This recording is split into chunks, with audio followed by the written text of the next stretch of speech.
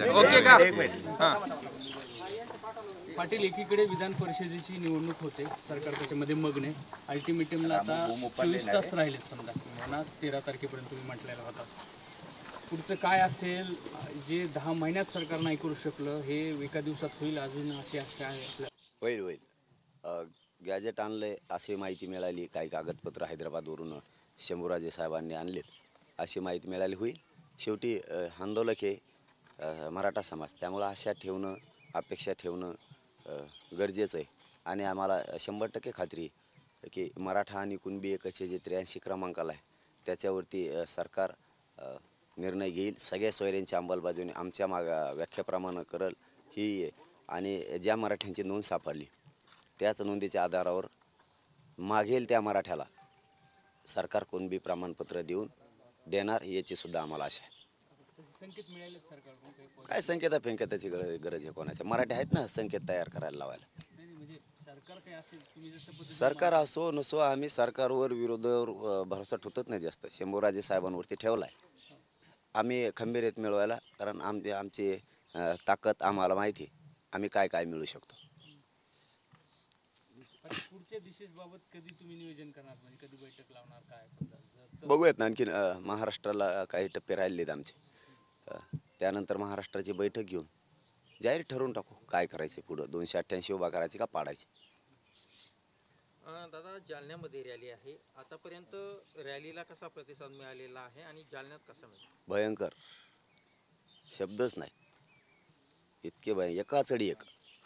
सगळ्यांनी रि अ, काय म्हणतात त्याला? रीस लागल्यासारखाच खेळ होता. तुमची मोठी झाली पाहिजे आमची मोठी झाली पाहिजे. याला अ, खास मराठा म्हणलं जातं. कालचा तर तो महासागर बघून खरंच काय बोलावं काहीच कळत नाही. इतका भयंकर आलोट गर्दी बीडमध्ये उसळली होती. खूप मोठा महासागर. प्रत्येक जिल्ह्यात राज्यातल्या तसंच होणार आहे. जालना असो संभाजीनगर असो महाराष्ट्रातले सगळे जिल्हे जे जे असतील आता पुणे हे नाशिक हे त्यानंतर मला वाटतं सोलापूर कोल्हापूर नगर असे बरेचसे ज्या ज्या जिल्ह्यामध्ये आता पुढचा टप्पा जे पडणार आहे सगळीकडे होणार. का बरं? एकत्र नाही यायला पाहिजे. जालन्यातला संभाजीनगरचा मराठा इतिहास ताकदीनं येणार. जर त्यांना आरक्षण असून ते आमच्या विरोधात विष पेरणार असले आरक्षण असून देऊ नका म्हणत असले तर आमच्या सरकारी नोंदी सापडल्या त्या रद्द करा म्हणत असले तर हा कोणचा विचार आहे बरबाटल्याला? मग ह्या विचाराच्या विरोधात मराठा समाज घरी का बसणार? इथं राजकारणाचा काय संबंध आहे? कोणत्याही पक्षात असू द्या मराठा. कारण मराठा समाज हा प्रचंड संख्येनं मोठा आहे विखुरलेला आहे सगळ्या पक्षात पण इथं जातीचा विषय इथं राजकारणाचा विषय नाही आहे त्यामुळं सगळ्या पक्षातले मराठी शेतकरी मराठी कामगार मराठी सगळेची सगळे आजसुद्धा हातातले कामं बाजूला टाकून या शांतता रॅलीत सहभागी होणार आहेत. छगन भुजबळला दंगली घडवायच्यात आणि मराठ्याला त्या होऊ द्यायच्या नाहीत. म्हणून शांततेच्या या रॅल्यात या रॅल्यात आणि मराठा आरक्षणासाठी सुद्धा या रॅल्यात. त्यामुळं जिल्ह्या जिल्ह्यातला मराठा ताकतेन हातातले कामं फेकून बाजूला एकत्र येणारे मिळल त्या वाहनानं. मराठा समाज जालन्यासह संभाजीनगरच्या सुद्धा कार्यक्रमात सहभागी होणार. आहे त्यांना आरक्षण असून जर ते एकत्र यायला लागले तर आमचे का झोपणार आहेत घरी? कारण याच्यात राजकारणाचा काही संबंध नाही ना? इथं जातीचा प्रश्न आहे. आणि त्यांना जसा त्यांचा जातीचा गर्व आहे स्वाभिमान आहे तसा माझ्याही घराघरातल्या मराठ्यांना स्वतःच्या जातीचा गर्व आहे स्वाभिमान सुद्धा आहे. कारण घराघरातले मराठ्यांचे लेकरं मोठे होणार आहेत. मराठ्यांना विनंती शांततेत सगळ्यांनी यायचं शांततेत सगळ्यांनी वापस जायचं. पण घरी कोणी राहायचं नाही. ताकदीनं सगळ्यांना बाहेर पडायचं आपण आपले घरं बंद करायचे. शहरातल्या मराठ्यांनी ग्रामीण भागातल्या सगळ्या मराठ्यांनी जिल्ह्या जिल्ह्याच्या ताकदीनं एकत्र यायचं ही सगळ्यांना विनंती आहे. मराठा समाज उघडा पडू द्यायचा नाही. गेले दोन दिवस झाले विधिमंडळाचं कामकाज झालं. पहिल्या दिवशी राडा झाला. चार वेळा कामकाज स्थगित करावं लागलं. नंतर संसदेचं काम बंद पडा विधिमंडळाचं काम बंद करावं लागलं. दोन दिवस फक्त राडाच झाला. त्याच्यातून बाहेर काहीच आलेलं नाही. नेमकं आमदारांनी आता समाजाची जी बाजू आहे ती कोणत्या दिशेने मांडावी अशी तुमची भावना आहे किंवा इच्छा आहे? ज्यावेळेस या चळवळीत आम्ही समजा नव्हतो किंवा लहान लहान होतो तेव्हापासून हिला पुढे बघतो आम्ही. हे गोंधळ केला आणि तेव्हा राडा केला. हे फक्त राडे करायला निवडून दिलेले आहेत लोकांनी. हे लोकांना येडं काढायसाठी हे फक्त. लोक निवडून देतात आपले कामं करतील म्हणून. पण हे त्याचा गैरफायदा घेतात. तिथं जाऊन नुसते गोंधळ घालतात. प्रश्न हे सोडत नाही आहेत त्यामुळं हे दोन्ही सारखेच आहेत. हे एकाच माळेचे म्हणे आहेत हे नमुने. यांना आता पुढं कळल. जर मराठ्यांना आरक्षण नाही दिलं तर आपण मराठ्यांच्या बाजूनं बोललो नाहीत.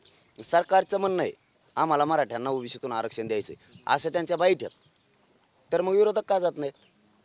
बरं ते नाही आलेत नाही आले. यांना द्यायला काय झालं? नाही आलेत नाही आले द्यायचे हाकून तसेच. तुमची इच्छाशक्ती आहे ना मराठ्याला द्यायची? द्या ना. उगं कायला कुलिता एकामेकावर ते नाही आले आणि हे नाही आले? हे सगळे सगळे सारखे आहेत. आम्ही बघतो. कसं मिळवायचं आम्ही बघतो. तुमच्या व्यासपीठावर आलेली काहीतरी हो, मंडळी होती. ज्यांनी तुम्हाला पाठिंबा दिला आता ते बैठकीला सुद्धा दिसत नव्हते. जेव्हा सार्वजनिक बैठक बोलवली जाते. त्याचा आणि याचा काही संबंध नाही ना. व्यासपीठावर तो कोणाच्या बसले होते त्यांच्या बसले होते. फार व्यासपीठ मोडायची वेळ आली त्यांची तर. देत तिथं जातीचा प्रश्न होता. तिथं जातीचा प्रश्न होता. अं, म्हणून ते एकत्र आले. आमचे एकत्र येतात कधी कधी नाही आले तर आम्ही काय कुठं कवर नाराजी दाखायचं ते कुठं नाराजी दाखवतात ते त्यांच्या जातीच्याच बाजूने वडीत येत अं, त्यांच्यात काय ते विषय ठेवत नाहीत. अं, हा विषय आपला नाही आहे तरी पण विषय नसणारे सुद्धा विषय घ्यायला लागलेत. आमचेही घेतात घ्यायला लागलेत. इथून पुढे विनंती या ते बी यायला लागलेत. सगळ्या क्षेत्रातले यायला लागलेत परत. असे काही क्षेत्र आहेत की त्यांना जातीचा विषय मांडता येत नाही. तरी काहीने अंधारातून मांडला काहीने उजाडातून मांडला काहीने काहींनी मागून फुस लावली काही बोलू लागले. म्हणजे जे क्षेत्र नव्हते त्या क्षेत्रातले पण उतारलेत. तसं मराठ्यांनी सुद्धा सगळ्या क्षेत्रातले उतरला. त्यांचं जरा बघा. शिका जरा त्यांचं. ते कोणत्याही क्षेत्रात असली तरीही त्यांची त्याच्यात येता येत नसलं तरी ते येतात जातीकडून राहतात. आपल्याही मराठ्यांनी जरा लक्ष घाला बारीक. सगळ्यांनी हातातले कामं सोडून तुम्ही सुद्धा एकत्र या. सगळेचे सगळे मराठी. कारण इथं राजकारणाचा विषय नाही. इथं विषय जातीचा आहे. ते जातीसाठी एकवटले तुम्ही सुद्धा एकवटा मी तर हटत नाही. तुमचा मुलगा म्हणून मी लढणारे आणि येऊ दे कोणाकोणाला एकत्र यायचं ती मी त्यांची पाठ पुरितो पण ओबीसीतून आरक्षण घेतल्याशिवाय सोडत नाही. एवढी गर्दी बघितली. आता खूप स्फूर्ती मिळते गर्दी बघून काय आता काळातून आता एवढी असंख्य ज सुरुवातीच्या टप्प्यात जेवढी गर्दी होती असंख्य जनसागर लोटलेला ह्यांना काही स्फूर्ती अजून मिळाली काही टॉनिक भेटले? आणि आम्हाला टॉनिकाची नाही गरज लागत. आम्हाला अन्याय झालेला सहन होत नाही. करणारांकडून सत्ता पद मराठ्यांनीच दिले. मतं मराठ्यांनीच केले. वेळ निघून गेली की अन्याय करायला सुरुवात केली. तुम्ही अवश्य तुमचा आनंद साजरा करावा. पण आमच्या दारात कुठं? तुमचा आनंद अवश्य तुम्ही साजरा करा. आमच्या दारात कुठं? ही कोणची पद्धत आहे? तुमच्या तिकडं गुलाल उधळा तोफा लावा तुम्हाला काय करायचं करा डीजे लावा. आमच्या दारापुढे एक एक घंटा का? ही ही अन्यायाची चिडे तुम्हाला आरक्षण मिळालं. तुम्ही दुसऱ्यावर अन्याय करायला लागले म्हणजे दुसऱ्याचे लेकरं तुमच्या लेकरासारखं बघत नाहीत तुम्ही. आम्ही कसं कवर अन्याय सहन करणार आहेत? ठीक आहे बघू. संयमानं घेऊ आम्ही. वेळ येते प्रत्येकावर दिवस बदलत येत बदलू आम्ही सुद्धा दिवस. आणि मराठ्यावर अन्याय झालेला तर हिशोब तर होणारच. बरं मला सांगा की आता उद्याचा अल्टिमेटमचा शेवटचा दिवस आहे तेरा तारीख तुम्ही दिली होती. सरकारशी बोलणं काही सुरू आहे का? रात्री काही बोलणं झालं का? काल काही बोलणं झालं? नाही रात्री नाही. अं, परवा झालं होतं. काल तर वेगळ्या विषयात झालं होतं की व्हॅलिडिटी दिले जात नाही त्या व्हॅलिडिटी देण्यात याव्यात. याबाबतही झालं. आणि आजही मी आपल्या अं, चॅनलच्या बंधूच्या सगळ्याच्या माध्यमातून सरकारला सांगतो की नोंदी शोधायचं बंद केलं आहे ते सुरू ठेवा. प्रमाणपत्र द्या. आणि पोरांना एवढ्या अडचणी यायला लागल्यात. व्हॅलिडिटी जातीयवाद करणारे जातीय द्वेषानं जे बरबडलेले काही काही अधिकारी आहेत काही खूप चांगले आहेत हो. ते जाणून बुजून व्हॅलिडिटी देत नाहीत. पोरांच्या भविष्याचा प्रश्न आहे. मुख्यमंत्री साहेबाला गृहमंत्री साहेबाला आणि देसाई साहेबांना शंभूराजे साहेबांना जाहीरपणानं सांगतो की व्हॅलिडिट्या थांबवू नका. एम पी सीच्या पोरांनाही अडचणी यायला लागल्यात. तेही प्रश्न सोडा. काय अडचणी यायला लागल्यात त्याही जाणून घ्या.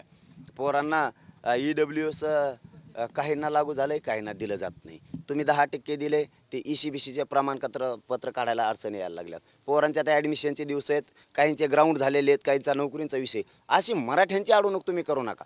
कारण आम्ही सहन करतोय थोडं हेही लक्षात घ्या तुम्ही की आमच्याही पोरांचे जर नुकसान होणार असले तर आम्ही पण आता नाही सहन करणार बरं.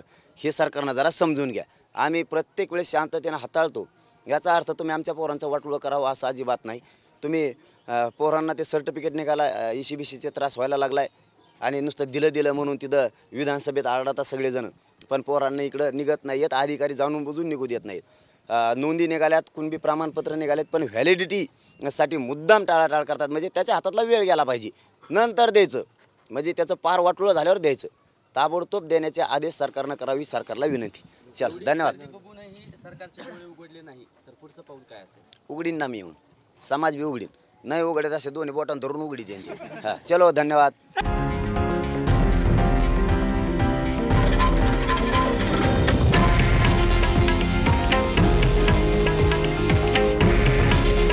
हे हे आहे देशातील नंबर वन न्यूज नेटवर्क.